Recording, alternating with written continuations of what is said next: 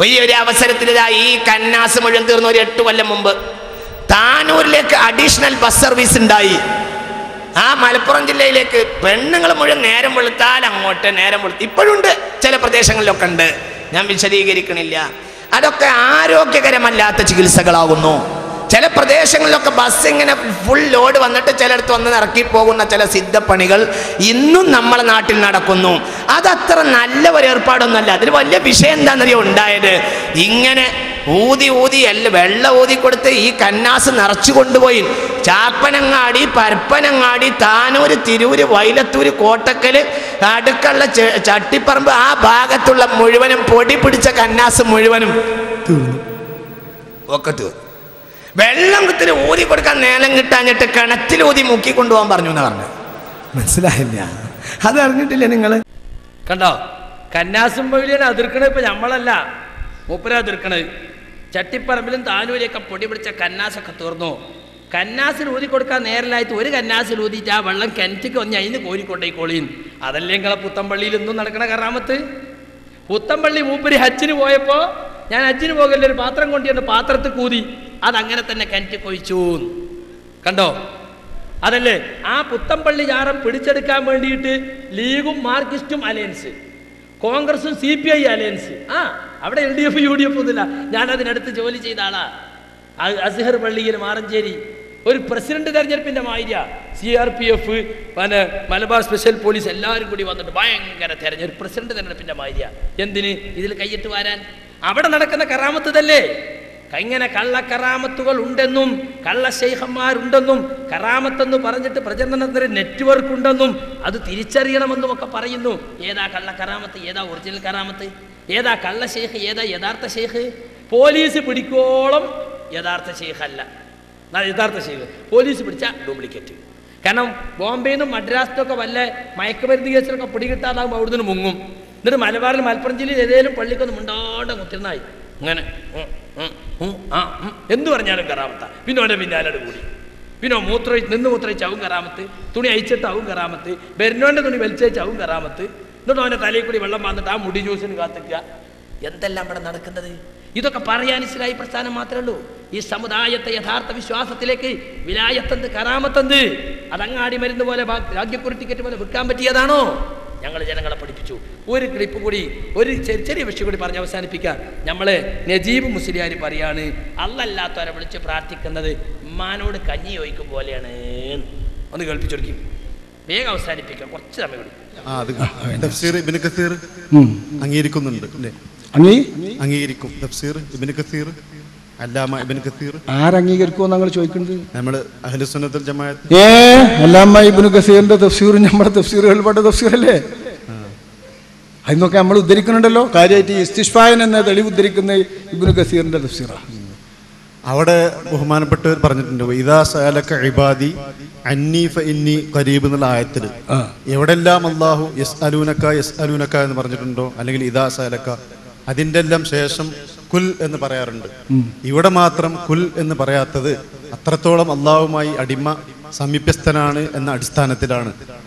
ഇവർ ഗസീർ കസീർ മാത്രല്ല റാസിയിലുണ്ട് തൊബിരിയിലുണ്ട് എല്ലാ കിതാബിലും അതുണ്ട്. അതനുസരിച്ച് തന്നെ ദുആന്റെ പ്രാധാന്യമാണ് അവിടെ മൂപ്പര് ഒരു പദ്യം കൊണ്ടുവന്നിട്ടുണ്ട്. വല്ലാഹു യഗ്ളബു ഇൻ തറക്ത സുആലഹു. വ ബനി ആദമ ഹീന യുസ്അലു യഗ്ളബു ആ അതുണ്ട്. അത് ഹദീസ് തന്നെയല്ലേ ഞാൻ ചോദിക്കുന്നത്? ഇതസ്തഅൻത ഫസ്തഇൻ ബില്ലാഹ് വഇദാ സഅൽത ഫസ്അലില്ലാഹ് ഹദീസ് തന്നെയുണ്ട്. നിന്റെ ഇസ്തിആനത്ത് മുഴുവൻ അള്ളാഹുവിനോടാകണം. നിന്റെ ചോദ്യം മുഴുവൻ അള്ളാഹുവിനോടാകണം. അള്ളാഹു അല്ലാത്തവൻ എന്റെ മനസ്സിന്ന് തീർത്തും കളയണം. ബാപ്പാനോട് ചോദിച്ചരുത്. ഹോട്ടലിൽ പോയി ചായ ചോദിക്കരുത്. ഡോക്ടറോട് പോയി രോഗം പറയരുത്. ഒന്ന് ചോദ്യം ചോദിക്കരുത്. ഈ ചോദ്യങ്ങളൊക്കെ അള്ളാഹിന്റെ മുമ്പിൽ വെച്ചോന്ന് ഹദീസ് എന്നെ പഠിപ്പിച്ചിട്ടുണ്ട്. അതേ തത്വമാണ് സൂഫി വര്യന്മാര്. അള്ളഹാനോട് ചോദിച്ചാൽ കാര്യം കിട്ടൂ. അല്ലാത്തവരൊക്കെ അള്ള തോന്നിപ്പിച്ചിട്ടുണ്ടെങ്കിലേ കാര്യം കിട്ടുള്ളൂ എന്ന് വിശദീകരിച്ചു തന്നത്. അത് ഉദാത്തമായ മനസ്സാണ്. ആ മനസ്സിലേക്ക് എത്തുന്നതാണ് തൗഹീദിന്റെ കുറച്ചും കൂടി നല്ലത്. അതിന്റെ മേലേക്ക് എത്തിയാൽ ദുആയും ചോദ്യവും തന്നെ നിർത്തിയിട്ട് എല്ലാം അള്ളാഹുവിലേക്ക് ഏൽപ്പിച്ചു കൊടുക്കുന്ന മനസ്ഥിതിയുമുണ്ട്. ആ മനസ്ഥിതിയിലേക്ക് ഉയരാൻ പ്രേരിപ്പിക്കുന്ന ആയത്തുമുണ്ട് ഹദീസുമുണ്ട്. ഇതെല്ലാം വിശദമായി പഠിപ്പിക്കുന്നവരാണ് സുന്നികൾ. എന്നാലും സാധാരണ മനുഷ്യന്മാരോട് ചായ ചോദിക്കും പോലെ ഉമ്മാനോട് കഞ്ഞി ചോദിക്കും പോലെ ബാപ്പാനോട് പൈസ ചോദിക്കും പോലെ സുഹൃത്തിനോട് കടം ചോദിക്കും പോലെ ഔലിയാക്കളുടെ മുമ്പിൽ പോയിട്ട് വിഷമങ്ങളും ബുദ്ധിമുട്ടുകളും പറഞ്ഞാലും ശിർക്കൊന്നും വരൂല. എത്ര ലളിതമാണ്. ഏയ് ലോകത്ത് ശിർക്കന്നെ ഉണ്ടാവില്ല ഉമ്മാനോട് ഉമ്മാ കഞ്ഞി തരൂ. ഉപ്പ കുറച്ച് പൈസ തരൂ. സുഹൃത്തെ നൂറുപ്പി കടം തരൂ. എന്ന് ചോദിക്കുന്ന പോലെയാണ് ബദരീങ്ങളെ രക്ഷിക്കണേ മമ്പർദങ്ങളെ കാക്കണേ ഭീമാ ബീവിയെ എനിക്കൊരു കുട്ടിയെ തരണേ അജ്മീർ ഖോജ എന്റെ പാപം പൊറുക്കണേ. ഇതൊക്കെ ഇതുപോലെയാണ്. പിന്നെ ലോകത്തെവിടെ ശിർക്ക്? നിങ്ങൾ ആലോചിച്ച് നോക്കിയും ഉമ്മാനോട് കഞ്ഞി ചോദിക്കുന്നത് അത് ഭൗതികമായി മനുഷ്യന്മാർ തമ്മ തമ്മിൽ ചോദിക്കൽ അനുവദിക്കപ്പെട്ട കാര്യമാണ്. നേരെ മറിച്ച് നൂറ്റാണ്ടുകൾക്കും മരിച്ചുപോയ ജീലാനിയോടോ ബദരീകളോടോ ചോദിക്കുന്നതോ അത് ഇസ്ലാം വിരോധിച്ച ശിർക്കാണ്. എവിടുന്ന് വിളിച്ചാലും എപ്പോൾ വിളിച്ചാലും എങ്ങനെ വിളിച്ചാലും ആ വിളികളൊക്കെ കേൾക്കുക എന്നത് അള്ളാഹുവിന്റെ മാത്രം സിഫത്തുകളിൽപ്പെട്ടതാണ്. അത് അള്ളാഹുവല്ലാത്തവർക്കും ഉണ്ട് എന്ന് വിചാരിച്ചാൽ അതാണ് ശിർക്ക്. അത് ഷിർക്കാണ് ശിർക്കിന്റെ നിർവചനങ്ങൾ പറയോ എന്ന് പലപ്പോഴും ചോദിക്കണ്ടേ ഷിർക്കിന് നിങ്ങൾ ഏത് നിർവചനം പറഞ്ഞോ നിങ്ങൾ പറഞ്ഞിട്ടും പഠിപ്പിച്ചിട്ടുമുള്ള നിർവചനങ്ങളിൽ തന്നെ. ഒന്ന് കേട്ടോ. മണ്ണാർക്കാട് സംഭവത്തിൽ ഞങ്ങൾ വായിച്ച നിർവചന അല്ലാഹുവല്ലാത്തവർക്ക് ആരാധ്യത വകവെച്ചു കൊടുക്കുക. ആരാധനയുടെ ഏതെങ്കിലും ഒന്ന് അള്ളാഹു അല്ലാത്തവർക്ക് അർപ്പിച്ചാൽ അത് അവർക്ക് ആരാധ്യത വകവെച്ചു കൊടുക്കലായി. അല്ലല്ലാത്ത പ്രാർത്ഥിച്ചാൽ ആ വ്യക്തി ഇലാഹായി. ആ ഇലാഹായ അള്ളാഹുവിന് അർപ്പിക്കേണ്ടത് അള്ളാഹു അല്ലാത്തവർക്ക് അർപ്പിച്ചാൽ ആ വ്യക്തി ഇലാഹായി. ആ ചെയ്തത് ഇബാദത്തായി. അത് അല്ലാത്തവർക്കിറങ്ങി കുഫറായി ശിർക്കായി. ആരാധിക്കപ്പെടുന്ന എല്ലാത്തിനുമുള്ള പൊതുപേരാകുന്നു ഇലാഹ്. എന്നിട്ട് സുഹൃത്തുക്കളെ ഉമ്മാനോട് കഞ്ഞി ചോദിക്കണമായിരി ഉപ്പാനോട് പൈസ ഒഴിക്കണമായിരിയാണ് ബദരീങ്ങളെ എന്ന് ചോദിക്കൽ. ഡോക്ടറോട് പോയിട്ട് രോഗം മാറ്റി തരും എന്ന് പറഞ്ഞ എന്തിനാ? ഡോക്ടർക്ക് എന്തെങ്കിലും അബൗദിക കഴിവുണ്ടെന്ന് വിചാരിച്ചിട്ടാ? ഡോക്ടർ വൈദ്യശാസ്ത്രം പഠിച്ച ആളാണ്. ഞരമ്പ് പിടിച്ചു നോക്കിയും ടെസ്റ്റ് ചെയ്തിട്ടും രോഗം കണ്ടെത്താൻ ആൾക്കറിയാം. ശരീരശാസ്ത്രം പഠിച്ചിട്ടുണ്ട്. ശരീരത്തിന്റെ ഗതിവിധികൾ അറിയാം ലക്ഷണം അറിയാം എന്നിട്ട് അതിന് മരുന്ന് അദ്ദേഹം പഠിച്ചിട്ടുണ്ട്. അതിനടിസ്ഥാനത്തിൽ അദ്ദേഹത്തോട് സഹായം തേടുന്നത്. ഡോക്ടർ മരിച്ചുപോയതിനു ശേഷം ഡോക്ടറെ കബറിങ്ങ പോയിട്ട് വിളിച്ചാലോ? അത് ശിർക്കായി. ഇതാണ് ഇസ്ലാഹി പ്രസ്ഥാനം പണ്ട് മുതൽക്കേ ജനങ്ങളെ പഠിപ്പിച്ചു പോന്നിട്ടുള്ളത്. അതുകൊണ്ട് സുഹൃത്തുക്കളെ ശിർക്ക് എന്താണ് തൗഹീദ് എന്താണ് എന്ന് മുസ്ലിം ഉമ്മത്തിനെ വീണ്ടും വീണ്ടും പഠിപ്പിക്കുകയും ശിർക്കിൽ നിന്ന് നാം ഒഴിവായില്ലെങ്കിൽ ഇന്ന ശിർക്കല സിർക്ക് ഗുരുതരമായ അക്രമമാണ്. ആരെങ്കിലും അല്ലാഹുവിൽ ശിർക്ക് വെച്ചാൽ അയാൾക്ക് സ്വർഗം ഹറാമാണ്. അയാൾക്ക് ചെന്നെത്താനുള്ള സങ്കേതം നരകമാണ്. ആരെങ്കിലും അള്ളാഹുൽ ശിർക്ക് വച്ചവനായി മരിച്ചു പോയാൽ അവൻ നരകത്തിൽ കടക്കും. എന്നാൽ അള്ളാഹുവിനൊന്നും പങ്കു ചേർക്കാത്തവനായി ശിർക്ക് വെക്കാത്തവൻ ആരെങ്കിലും മരിച്ചു പോയാൽ അയാൾ എന്നെങ്കിലും ഒരിക്കൽ സ്വർഗത്തിൽ കടക്കാതിരിക്കുകയില്ല. അള്ളാഹു അവനോട് ശിർക്ക് വെക്കപ്പെടുന്നത് പൊറുക്കുകയില്ല. അതിന് താഴെയുള്ള പാപങ്ങൾ അവൻ പൊറുക്കുന്നതാണ് അവൻ ഉദ്ദേശിക്കുന്നവർക്ക്. അതുകൊണ്ട് ശിർക്കെന്ന മഹാപാപത്തെ നമ്മുടെ വിശ്വാസത്തിലോ കർമ്മത്തിലോ ഉണ്ടോ എന്ന് അന്വേഷിച്ചു മനസ്സിലാക്കണം സുഹൃത്തുക്കളെ. തൗഹീദ് എന്താണെന്ന് മാത്രം പഠിച്ചാൽ പോരാ. അതിന്റെ നേർവിപരീതമായ ശിർക്കും പഠിക്കണം. എന്ന് പറഞ്ഞതുപോലെ എല്ലാവരും റസൂലിനോട് ഹൈറിനെ പറ്റിയാണ് ചോദിക്കുക. ഞാൻ റസൂലിനോട് ഷെറിനെ പറ്റി ചോദിക്കും. എന്തിന്? ആ ഷെറ് എന്നെ ബാധിക്കാതിരിക്കാൻ വേണ്ടി. അതുകൊണ്ട് ഷിർക്ക് എന്താണ്? തൗഹീദ് എന്താണെന്ന് വ്യക്തമായി മനസ്സിലാക്കുകയും ഷിർക്കിന്റെ എല്ലാ അംശങ്ങളിൽ നിന്നും രക്ഷപ്പെടുകയും പൂർണമായ തൗഹീദോടുകൂടി അവസാന നിമിഷം വരെ ജീവിക്കുവാൻ തൗഹീദിൽ ഉറച്ചു നിന്ന് ആ യഥാർത്ഥ തൗഹീദോടുകൂടി മരണപ്പെട്ടു പോകുവാൻ നാം പ്രയത്നിക്കുകയും പ്രാർത്ഥിക്കുകയും വേണമെന്ന് ഓർമ്മപ്പെടുത്തുകയാണ്. സാധാരണക്കാരെ നിങ്ങളോട് ഞങ്ങൾക്ക് യാതൊരു വിരോധവുമില്ല.